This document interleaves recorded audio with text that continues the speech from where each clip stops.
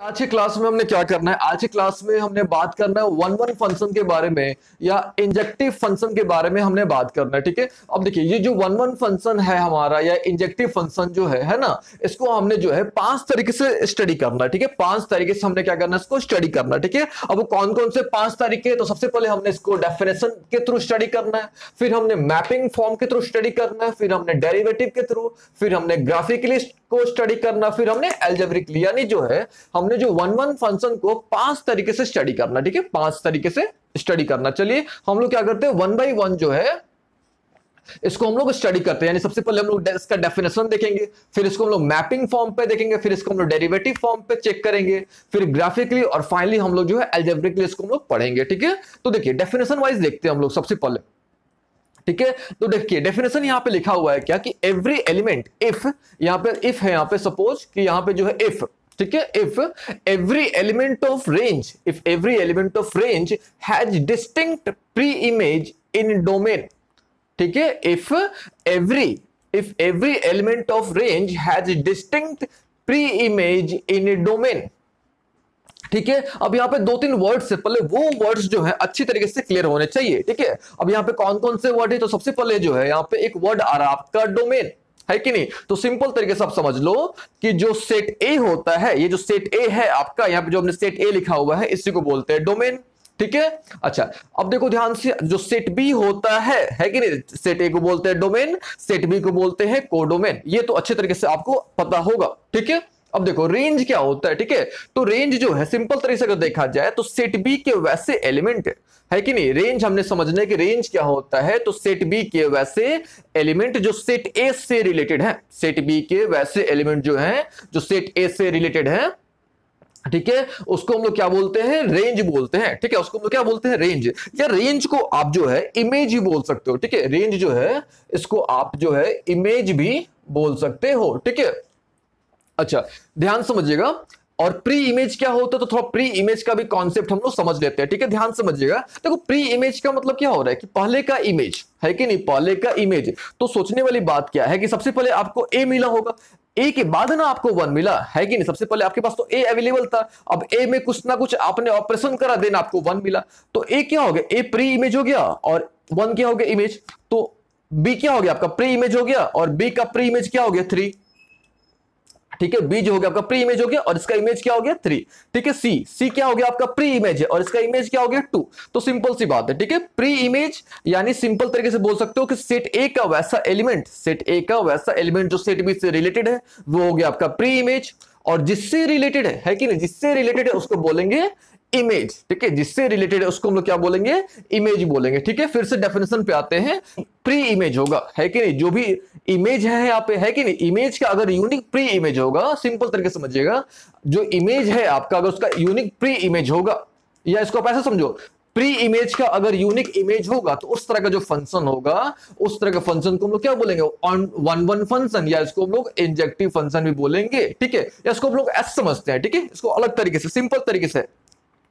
Simplified तरीका देखो आप ध्यान से कि if different element of set A है कि नहीं? If different element of set A have different images in B if different element of set A यानी सेट ए के जितने भी डिफरेंट एलिमेंट्स हैं, उनकी जो, उनका जो इमेज होगा, वो डिफरेंट इमेज होगा। किसमें सेट बी में। अच्छा ध्यान ध्यान समझिएगा इमेज और प्री इमेज समझना बहुत इंपॉर्टेंट है। देखो तो प्री इमेज जो होगा, वो किससे बिलोंग करेगा? डोमेन से बिलोंग करेगा। डोमेन है वो।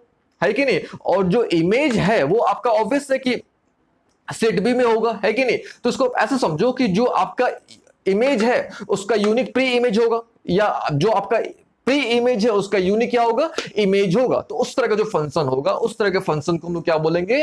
वन वन फ़ंक्शन या इसको हम लोग इंजेक्टिव फ़ंक्शन बोलते हैं, ठीक है? ये तो हो गया डेफिनेशन के थ्रू ठीक है? अब इसको हम लोग मैपिंग फॉर्म के थ्रू समझते हैं। ठीक है, देखो ध्यान से। ये हमारा हो गया सेट ए ये हो गया set B set A set B हमने यहाँ पे चार लिए हुए हैं, ठीक है?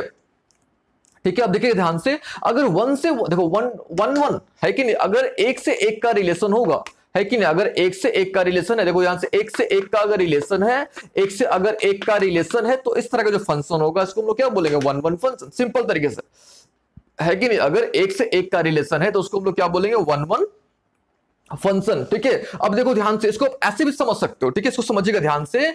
अगर आपका जो है, ध्यान समझिएगा, अगर आपका कुछ भी रिपीट ना करे, ना फ़र्स्ट एलिमेंट रिपीट करे, वैसे भी आपको फ़र्स्ट एलिमेंट रिपीट नहीं करना चाहिए। अगर आपका कोई भी एलिमेंट जो है रिपीट नहीं करना ही फ़र्स्ट एलिमेंट रिपीट कर रहा, ना ही सेकेंड एलिमेंट रिपीट कर रहा है तो उस तरह का जो फ़ंक्शन होता है, उस तरह के फ़ंक्शन को हम लोग क्या बोलते हैं? वन वन फ़ंक्शन ठीक है? अगर आप इसको क्या करते हो, अगर इसको ऑर्डर पेयर के फॉर्म पे लिखते हो तो अगर इसको ऑर्डर पेयर के फॉर्म पे लिखते हो तो आपको क्या मिलेगा? आपको ए वन मिलेगा। है कि नहीं? आपको क्या मिलेगा? B3 मिलेगा। आपको क्या मिलेगा? है कि नहीं? B3 मिलेगा, फिर आपको क्या मिलेगा? C2 मिलेगा। अब देखो ध्यान से, अगर आपका जो है, कोई भी ना, आपका जो है, देखिए, आपको पता होगा कि फ़र्स्ट वाला जो होता है, उसको बोलते हैं डोमेन और जो सेकंड वाला होता है, उसको हम लोग क्या बोलते हैं रेंज अगर आपका कुछ भी रिपीट नहीं कर रहा, अगर कोई भी रिपीट नहीं कर रहा है तो समझ लीजिए कि वो जो फ़ंक्शन होगा, उस फ़ंक्शन को हम लोग क्या बोलेंगे? वन वन फ़ंक्शन बोलेंगे। ठीक है? देखो, नाम से भी क्लियर है वन वन है कि नहीं? वन से वन का अगर रिलेशन है तो इस तरह का जो फ़ंक्शन होता है, इस तरह के फ़ंक्शन को लोग क्या बोलते हैं? वन वन फ़ंक्शन ठीक है? तो देखिए, हमने एक तो डेफिनेशन के थ्रू देख लिया कि भाई डेफिनेशन क्या होता है है कि नहीं? तो डेफिनेशन क्या बोल रहा था आपका? कि जो आपका जो है, हर एक इमेज का, हर एक इमेज का एक यूनिक प्री इमेज होगा। हर एक इमेज का अगर एक यूनिक प्री इमेज होगा या हर एक प्री इमेज का अगर एक यूनिक इमेज होगा तो उसको क्या बोलेंगे? वन वन फ़ंक्शन बोलेंगे। है कि नहीं? या इसको आप ऐसे बोलो कि सेट ए के जितने भी एलिमेंट्स हैं सेट ए के जितने भी एलिमेंट्स हैं, अगर वो यूनिक एलिमेंट से सेट बी के यूनिक एलिमेंट से रिलेटेड है, यानी दोनों के यूनिक यूनिक होने चाहिए। है कि नहीं? दोनों जो होने चाहिए सेट ए सेट बी के, दोनों अगर जो है यूनिक यूनिक एलिमेंट से अगर क्या है रिलेटेड है तो उसको हम लोग क्या बोलेंगे? वन वन फ़ंक्शन ठीक है मैपिंग फॉर्म पे अगर देखा जाए तो ध्यान से समझिएगा वन से वन का रिलेशन है। है कि देखो, ध्यान से वन से वन का रिलेशन है। तो इस तरह का जो फ़ंक्शन होता है, उसको हम क्या बोलते हैं? वन वन फ़ंक्शन ठीक है? या इसको अगर हम लोग ऑर्डर्ड पेयर के फॉर्म पे, अगर इसको हम लोग जो है ऑर्डर्ड पेयर के फॉर्म पे देखें। ठीक है? तो अगर, ठीक है ऑर्डर पेयर के फॉर्म पे हम लोग देखें तो कुछ भी रिपीट नहीं करना चाहिए। ठीक है? कुछ भी रिपीट आपका नहीं करना चाहिए। यानी नो अब कुछ भी का मतलब क्या चीज़? दो ही चीज़ मिलेगा आपको? या तो डोमेन मिलेगा, या तो रेंज मिलेगा। है कि नहीं? अच्छा फ़र्स्ट एलिमेंट तो रिपीट कर ही नहीं सकता है, क्योंकि अगर आपका फ़र्स्ट एलिमेंट रिपीट कर गया तो फ़ंक्शन तो है ही नहीं वो। है कि नहीं? तो सिंपल तरीके से हम लोग बोल सकते हैं कि नो ठीक है सेकेंड एलिमेंट गेट रिपीटेड ठीक है सेकेंड एलिमेंट यानी सेकेंड एलिमेंट यानी हम लोग किसकी बात कर रहे हैं? रेंज की बात कर रहे हैं। है कि नहीं? सेकेंड एलिमेंट यानी हम लोग किसकी बात कर रहे हैं? रेंज की बात कर रहे हैं।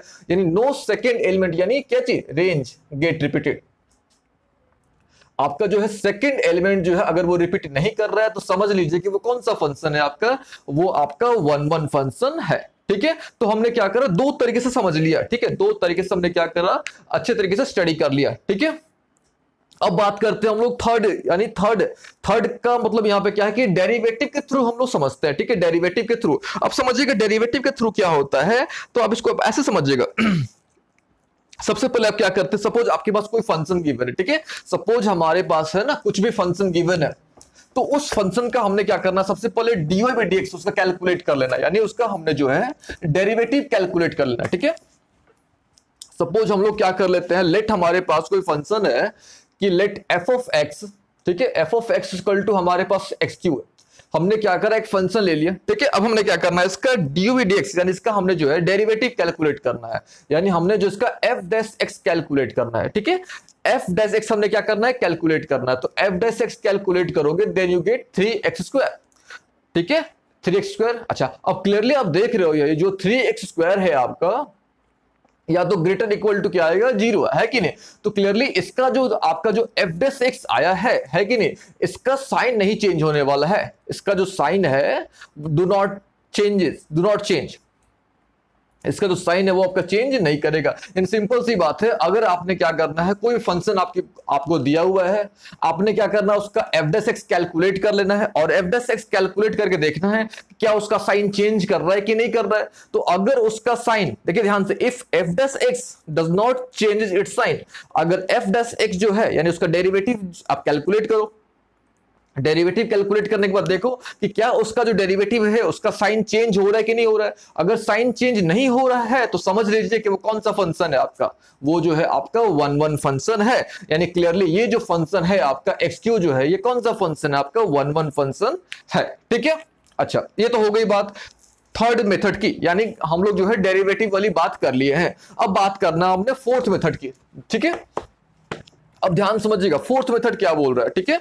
अब देखिए फोर्थ मेथड को, ठीक है, जो फोर्थ मेथड है, इसको हमने अलग सा नाम दिया गया है, इसको इसको, जिसको हम लोग बोलते हैं हॉरिजेंटल लाइन टेस्ट ठीक है?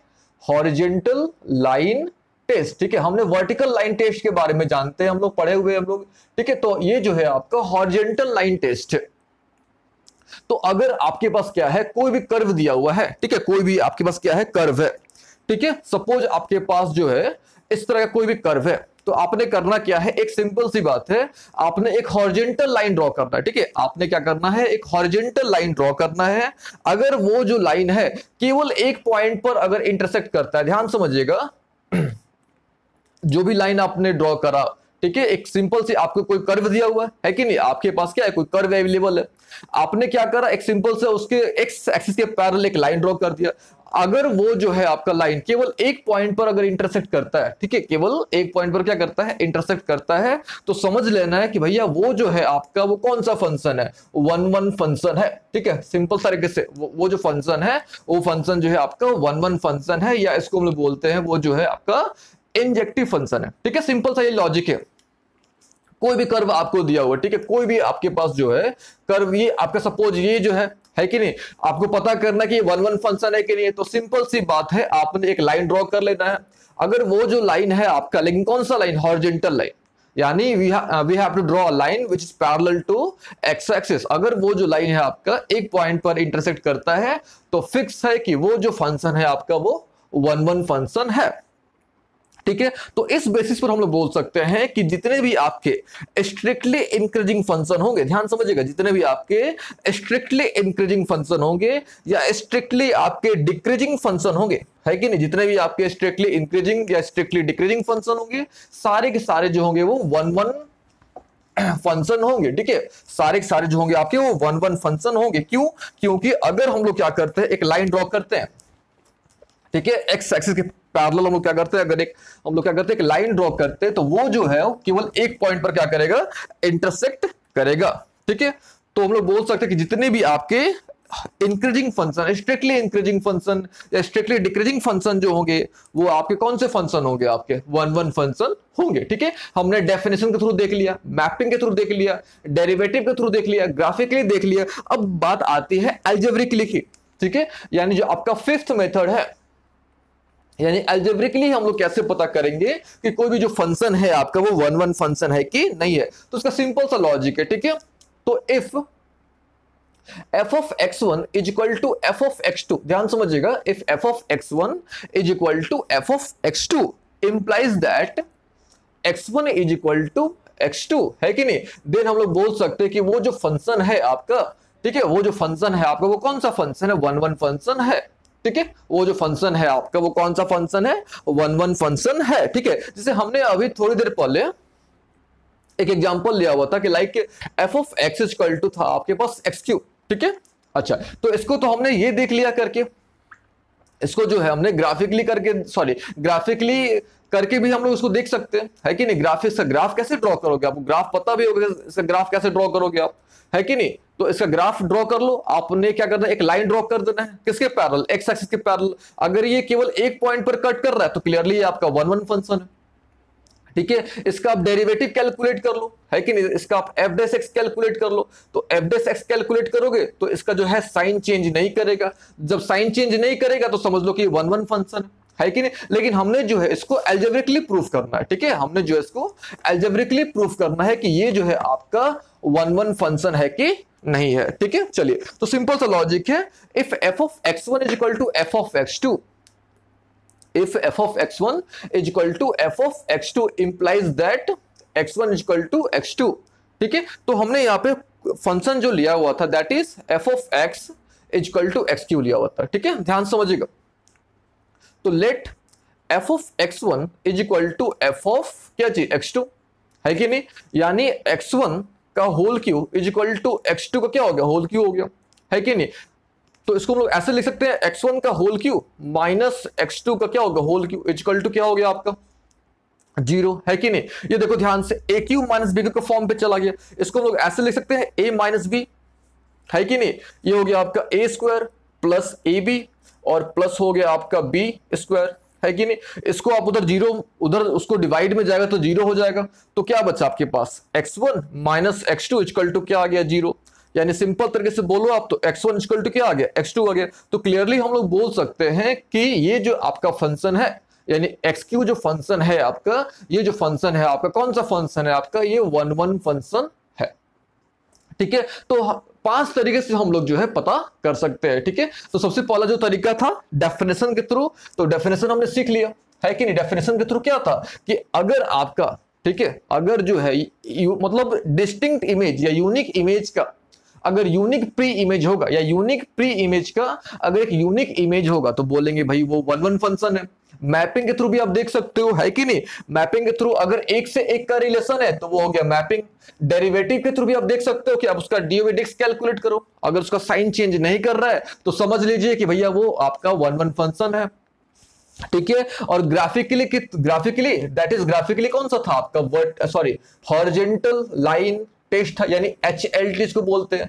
आपने करना कुछ नहीं है, कोई भी कर्व दिया हुआ है, आपने एक लाइन ड्रॉ कर लेना। किसके पैरल एक्स एक्सिस के पैरेलल एक लाइन ड्रॉ कर लो आप। अगर वो जो लाइन है, एक पॉइंट पर, है ना, एक पॉइंट पर अगर इंटरसेक्ट कर रहा है तो समझ लीजिए कि वो वन वन फ़ंक्शन है। ठीक है? अच्छा आपको बताया कि स्ट्रिक्टली इंक्रीजिंग फ़ंक्शन तो स्ट्रिक्टली इंक्रीजिंग फ़ंक्शन का मतलब क्या होता है कि वैसा फ़ंक्शन जो है, जो लगातार इंक्रीज कर रहा है। है कि नहीं? इस तरह का जो फ़ंक्शन होता है, इसको बोलते हैं स्ट्रिक्टली इंक्रीजिंग फ़ंक्शन तो आपने क्या करना है? एक लाइन ड्रॉ कर लो। तो देखो, एक पॉइंट पर इंटरसेक्ट कर रहा है तो क्लियरली ये जो है आपका वन वन फ़ंक्शन है, या स्ट्रिक्टली डिक्रीजिंग फ़ंक्शन तो स्ट्रिक्टली डिक्रीजिंग फ़ंक्शन का मतलब क्या हुआ? लगातार वो घट रहा है। है कि नहीं? तो आपने क्या करना है? एक लाइन ड्रॉ कर देना है। ठीक है? तो हम लोग पता कर सकते हैं कि वन वन फ़ंक्शन है कि नहीं है, ठीक है? एल्जेब्रिकली सिंपल सा लॉजिक है कि if F of X one is equal to F of X two implies that X one is equal to X two देखिए, सबका लॉजिक वही है। सबका लॉजिक सिंपल सा अगर देखा जाए, पाँच तरीके से हमने किया, लेकिन पाँचों का लॉजिक सेम है आपका। अब लॉजिक क्या है आपका कि भाई यूनिक इमेज का, है कि नहीं? यूनिक इमेज का यूनिक प्री इमेज होना चाहिए। ठीक है? यूनिक इमेज का यूनिक प्री इमेज होना चाहिए, ठीक है? तो इस तरह का जो फ़ंक्शन होता है, उसको हम लोग क्या बोलते हैं? वन वन फ़ंक्शन ठीक है? अब हम लोग अगले क्लास में जो है मेनी वन फ़ंक्शन के बारे में बात करेंगे, ठीक है?